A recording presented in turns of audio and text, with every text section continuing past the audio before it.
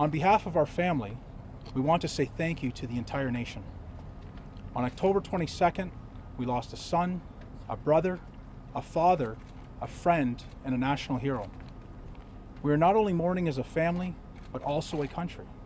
When we lost Nathan, we all mourned as one. There are no words to express the sadness that has fallen upon us all.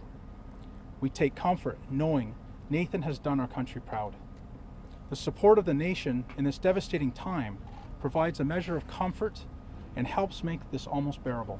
Nathan was Canada's son. He belonged to all of us. We've always thought we lived in the best country in the world. The people just proved it.